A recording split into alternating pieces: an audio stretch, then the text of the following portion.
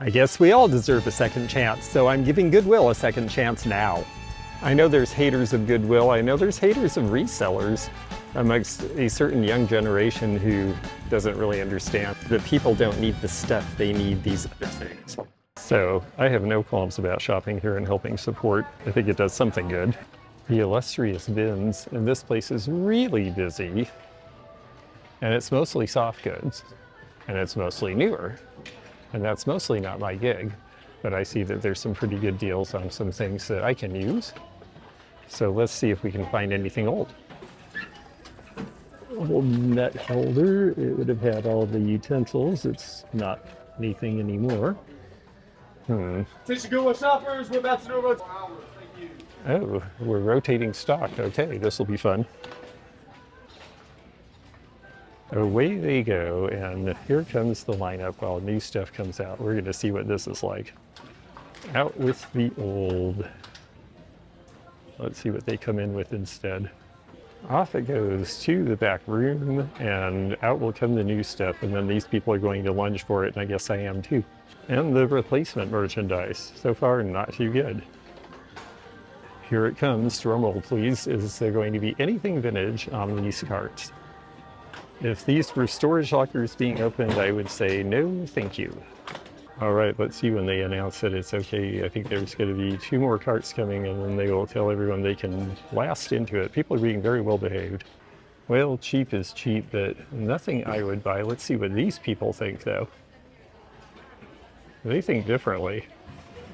They see things to buy, and I'm sure that for certain resellers or certain things people need at home, they're right but not my gig. I don't see a single old thing. These people are about to get slammed, so I'm gonna go. The changing of the bins, oh, it's so interesting and exciting, but I didn't see anything to excite me in terms of merchandise. I'm sure Goodwill makes a lot of money and it looks like they are trying to be visible about some of the things they're doing to help the community with it. So I hope that those people's purchases go a long way to helping them and Goodwill. I'm sure a lot of those people were resellers. I'm sure they know lots of things about those things that they were picking up and why they were a good deal, especially at the prices that I'm sure they're getting them for. It's priced by the pound or whatever. But, you know, I just want to stick to my role and I do antiques and vintage and there wasn't one piece in that whole store. Shows are coming, holidays are coming, I've got a lot of online sales coming, so I need to be shopping for merchandise. This is the beginning of a buying trip. I haven't had a buying trip week for a while. I have a destination in mind and an appointment to make, but in the meantime, I get to freestyle today and I have always been curious about this place. This is South Louisville Antique and Toy Mall. And it sounds and looks pretty different than a lot of places you've seen. Because this place is more about these sorts of antiques and vintage items. I don't know if we'll see a lot of antique toys in here, but we certainly are going to see a lot of cool vintage things. Garfield trash can, $40. You know, this is the generation collecting their childhood again. Triple X root beer, I grew up around that. $9.99. But this is also a place if you are a collector of action figures and various series pieces. Some of these are out of production in a long time, some of them maybe less so. Some of them are retro throwbacks. Here's a bunch of wrestlers. They have got all of the sorts of things like this you might imagine collecting. They have Hot Wheels, newer and older. They have Hercules. They have Star Wars. They have Johnny Lightning. These 70s kids might have played with the Emerald City from The Wizard of Oz. I've never seen that before. Or maybe you were more Donny and Marie fans, and there is their entire stage TV show and the instructions. This is a mall. There are dealers stocking, so a lot of different people have to come together to bring this much of a certain type of item. Now, they do have other antiques and vintage too, this is a cute little teapot here for only $8. Lee Go-Go girls were to look like the Keane girls with those sad eyes, but they're not quite the same. This is when Disney was trying to figure out how to reach a younger audience. This is about 1970. Pistol Pete Maravich. When you get back to the original three of Star Wars, The Empire Strikes Back, Return of the Jedi, and of course the original movie, that's where you see some bigger prices. This is by Kenner and it is priced at 150. Bunch of license plates in here too.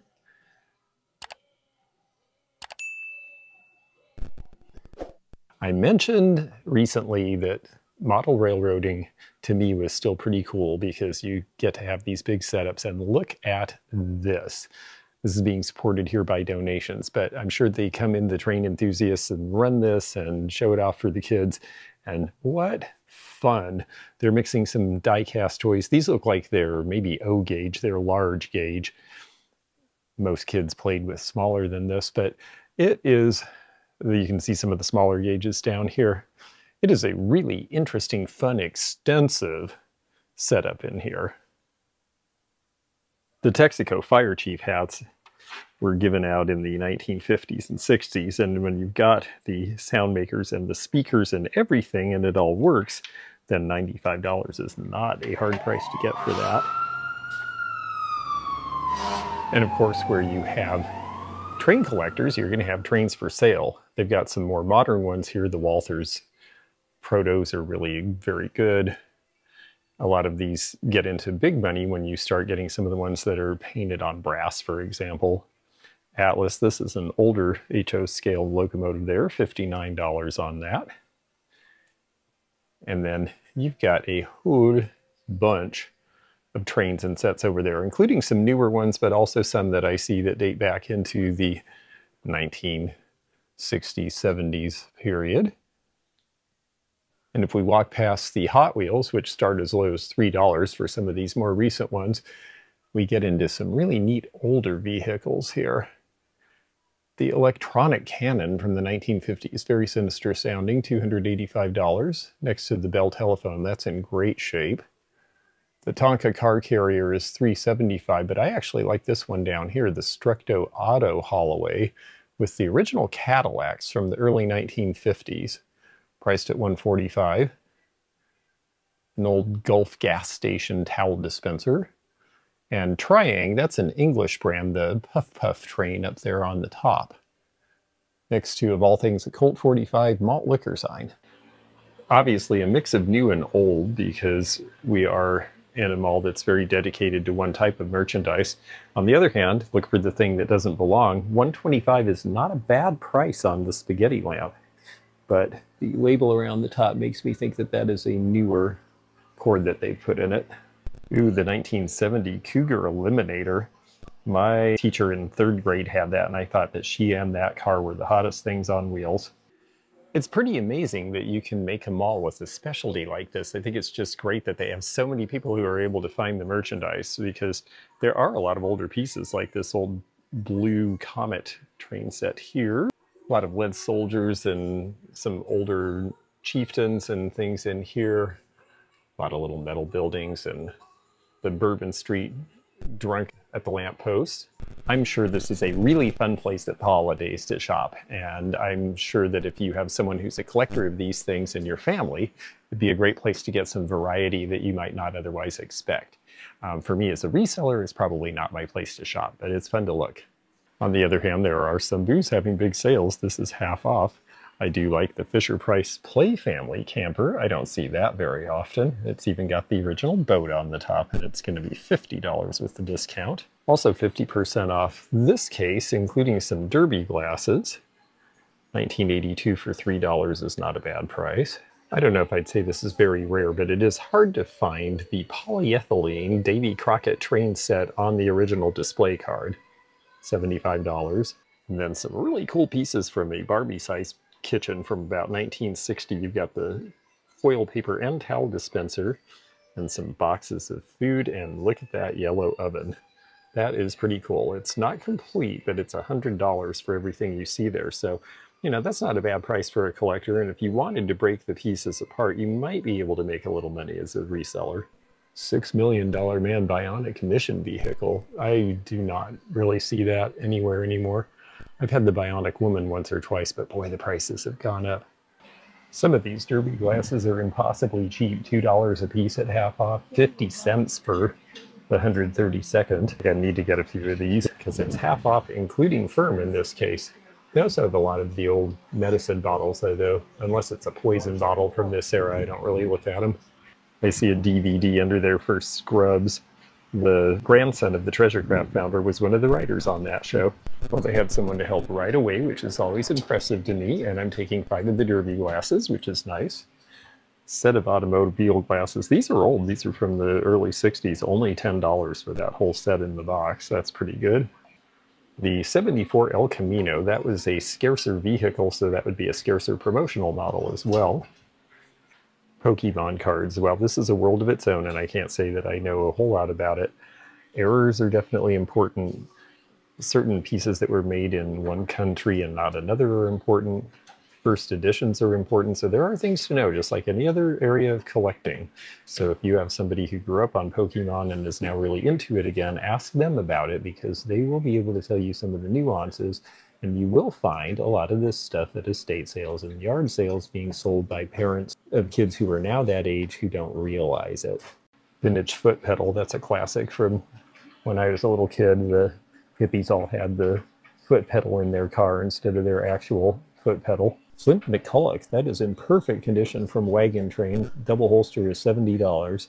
Christmas is near, $50 for the 1972 Christmas tree. That's about what they're going for now always like this guy, the drunken St. Bernard leaning up against the barrel. That's another one of those caddies from about 1960 for the dresser with a bank in it. Well, I've got to say, this place is quite extensive. There's a cool thing, a 2013, so it's contemporary but not brand new. Fritz 50 limited edition bike, and it says it's never been ridden cool looking. It definitely looks like the old Stingrays from when I was a kid. This is a pretty good Fire King mug. These were done for the Rio Grande to be used on their passenger rail cars back in the 1950s in the peach luster. The Action Railroad, $12. My grandfather worked for them. This says it's on comics. I wonder if that includes the Churchill Downs programs. Probably not, but I'm curious to look at those anyway. Nice selection of promo cars. I love it when they have the original box. The 66 Fords those are both priced around 80 because of the boxes. These are neat looking Chryslers in here, or they may be Imperials. Imperial was a separate division at the time.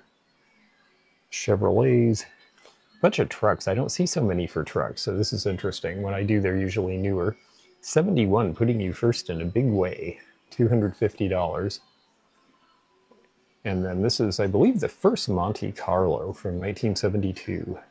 And the all-new look is here, yes. They tipped this car on end and proclaimed it was the largest car ever made, 239 inches from stem to stern. A few years later, gas crisis came, and that didn't seem like such a good idea after all. Now, here is a more traditional booth, and this is half off, so we are going to do some shopping in here. But I've got to go back where I was first, because the fellow is going to get the key to show me the Kentucky Derby programs. One nice thing is, like they say, we know Joe. If you are a specialist in a category like this, what a great opportunity to be in a store that really features what you understand and know and makes it available to other people so that they can understand and know. Entire cases full of nothing but models. Austin Powers, yes, but some older ones too as well. Dukes of Hazzard lunchbox, that's right at that time when the thermoses went to plastic, so you can see it's a little bit worn kids did not like that. This is from 1981, and you don't really see these very often, especially because they were just stick-on labels. It was a recession time, so they wanted to make things cheaply. They were made in Aladdin's factory in Nashville, Tennessee. 125 for the set now. I've been asked a bunch of times about these. They want $25 with the discount. This is one done in 1976 as a reproduction of the original Declaration of Independence. They did them in 1926, 1976, 1876, and then the original reproductions were done by John Quincy Adams in 1826. They were on Antiques Roadshow, and then suddenly everybody who had one of these who didn't listen to the fact that the dimensions were different got confused. Here's something different. This is signed by the Duchess of York when she was involved with Weight Watchers after she was no longer in the royal house dated 2003. Dear Jason, well done indeed. Best of wishes, Sarah, the Duchess of York. That was only $15 and now it's half off. I'm intrigued. I think I'm going to take that. I think someone's going to think this is interesting besides me. A little different piece of royalty memorabilia. And then this piece here, I have been making my way over towards It is priced at only $5. I believe this is a pretty good piece of Blenko with the leaf pattern from the 1950s, and at $2.50, it's a score. This is why, as a reseller, I come to places that are not necessarily my places to shop because I find things that are not necessarily their things to sell. So they have a little of everything here, but not the everything you expect at most antique stores. It's different and interesting. They have this whole set for 375 with the baby Jesus. Goebel does not make Hummels anymore, but they make lots of other stuff. And at some point they made the Looney Tunes Spotlight collection. And now this dealer has this original case from one of the stores for $900. If you just loved Warner Brothers stuff, that would be the showcase for you. We already found a couple of fun things in this space, so we're going to keep looking. This looks modernist, at least. It is Japanese from the early 80s, I would say. Cute, not important per se. Barber bottles are one of those old-time collectibles you just don't really see very much anymore. I like the one with the pigeon blood. It's only $30. If it doesn't have any chips at $15, I would take it and try to resell it. This one seems to have a correct stopper in it. A lot of the porcelain stoppers were replaced, but that's a metal stopper. That one was priced at 140 however, and even at half price, the values are not as high as they once were. This one's a neat opalescent, but that one is missing its stopper, as is the one on the left. And the one in the back is actually not as interesting to me as the one with the birds, the Victorian one with ruby flash. More from the Empire Strikes Back. These are snap action scenes, $40 each. It's neat to see the State Highway Department Structo grader on top of the big trailer. I don't see the trailer very often. Neat set from the 50s. And like a lot of metal crafters, Dunwell in New Jersey tried making toys for a little while. This is a 1955 Ford truck with the livestock transport. Scarce piece at 250. Barbie goes through a lot of convertibles. I think I got this one for my niece when she was little. If she was 10 years older, it would have been this one that looked like a VW Rabbit or something similar from the time. And up amongst all the Barbies, and they have some that are a little bit older, are Sonny and Cher. The Flintstones collector set had everything you needed for recreating Bedrock. It was by Marx, and it came out right about the time the show was at its peak in the early 60s, 125. Personally, when I see things that say classic collection, that tells me it's not classic and I don't buy it. Lots of fun board games. Of course, board games really took off in people's esteem a couple of years ago when people were inside a lot. And so there's a bunch of new collectors of old board games because of it. And wow, does this place go on and on. Another half off comic stand and some more showcases. It really is smart because when you're dealing with a lot of little things like this, it could really be distracting and hard to keep straight. But to have everything divided like this means you can show lots of little things like old Hot Wheels red lines for 20 and $30 a piece. The old advertising ashtray there with cool shape, pocket knives, fishing lures, costume jewelry, all these different sorts of little bits are nicely arranged in showcases here rather than just sort of lumped in a big open space. So it is really neat to see the theme here. I am finding some things to buy, and this has turned out to be a really fun stop. Thimbledrome TD3, that is an early Cox airplane. Look how lightweight the body is. I have the Thimbledrome car on eBay for sale right now. And they have all sorts of the early motors with the wooden propellers and some of the models. This is a pretty neat display if you like this sort of thing. I see prices in the $85 range for a lot of these engines and 150 to 175 for some of the models that had the control lines. Those were tethers. You held the thing while it flew around in the air before there was remote control. And yet in the same showcase, now you have an Aladdin jadeite base lamp and this lamp that has a very pretty shade that looks like it was decorated perhaps by the Charlton Company. So you just don't know what you're going to find in a space like this. And you can pose with your best friends. I imagine that somewhere in here, anyone of any age alive today could probably find something that would spark joy or happy childhood memories in this place.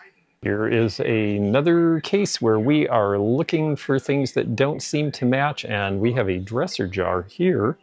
This one has some really, really nice gilding Finial's a little bit loose, but I think it's all right. And it is priced at, I think that's $8.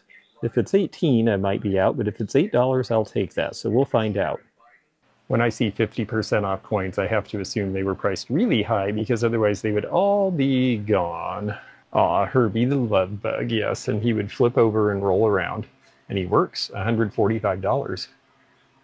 Newscopter is a pretty fun thing. And then the Douglas Skyrocket. Any of these, the giant helicopter in the box, any of these Japanese wind-up toys, really very valuable now if they're in working order with the box because they really were not well made and they weren't expected to last. Fred Flintstone on Dino, another one that wasn't expected to last, 300 bucks. Well, I went to the toy store and I had a great time. This is really fun, uh, very unexpected, and what an exciting and interesting concept. Look how nice it was to have such variety, and you end up getting to run this huge, wonderful toy store without having to put all the inventory in yourself. This has been a lot of fun, and we're going to show you more as our buying trip ensues. If I could find Blenko for $2.50 everywhere I stopped, it'd be a great time. So let's see what happens. If you enjoyed this video, check out this one. Also, click thumbs up to like this video and check the description for information about our Patreon, our memberships. We've got a lot of different levels with different perks and bonus videos and early content. Also, please do check out our website, theantiquenomad.com for appraisal help, and we'll see you again for more adventures in the antique and vintage community soon. Bye for now.